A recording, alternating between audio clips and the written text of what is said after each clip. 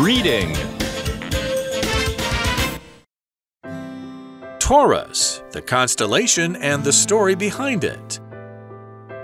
When you look at the stars, many of them form patterns known as constellations. The constellation Taurus is visible from October and early November. The name Taurus actually comes from the Latin word for bull.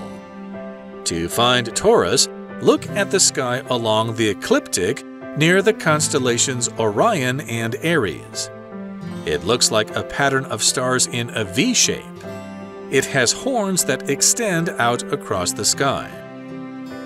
Taurus is one of the oldest known star patterns. The first known records of Taurus go back 15,000 years. Ancient painters couldn't help but be inspired by it. They drew Taurus on the walls of caves in Lascaux, France.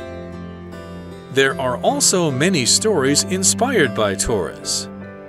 One of the most famous is the story of Zeus and Europa. Europa was the most beautiful woman in Phoenicia.